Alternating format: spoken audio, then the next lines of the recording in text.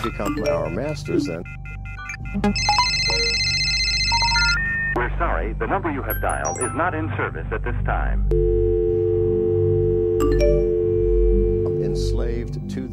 Device, to the device, enslaved to the point that you completely block out human uh, presence. Can you stop this noise? The average person spends four years of his life looking down at a cell phone, a cell phone. They're gizmos. Can be automated. I don't think it would be responsible to just gizmos and gadgets. What can we do to protect ourselves from robot automation? Not bad for a human. Think we'll not be able to hold a candle to AI. AI. Machines can do intelligent things in ways that are different from the ways people do intelligent things.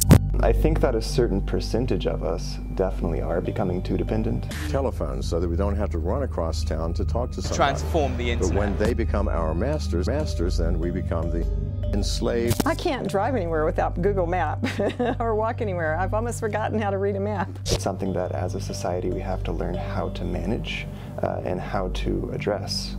The CEO explained that machines will replace traditional labor. Artificial intelligence is not true intelligence and can't necessarily demand uh, that we pay attention to it. This is all about artificial intelligence and how much faster it can process. I don't think we're ready to have autonomous vehicles taking over as the primary drivers. To the deadly crash, the car on autopilot using advanced technology. So confirming this car was in autopilot mode Human when labor it crashed. is never going to be cheaper as we get more advanced, and we're just going to have to adjust to that and deal with the results. Artificial intelligence is changing everything. It's essentially a child but as it's given data, as it interacts with humans, Alexa, it gets even smarter, even smarter, and it never forgets. Intelligent force that is intentionally subjugating another force.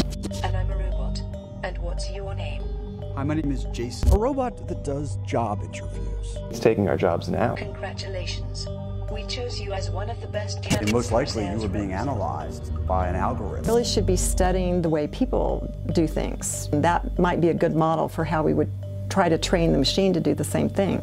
Disney has created robot acrobats that perform high-flying stunts. These stuntronics are autonomous, self-correcting, and remarkably human-like. Human-like. I think we have too much faith in technology. You're doing something that is routine and predictable, that job is threatened by a machine. My hope is that uh, new technology is designed in such a way that it is integrated more naturally into the environment around us and doesn't keep us at such a disconnect to um, the world that we live in. Just continue racing forward with the technology without giving any thought to the socio-economic impact of the technology being available and all these jobs being lost, then we're um, doing certainly this country and a, a, big disservice. Our vision is to create a robot that can really help people, help people, help.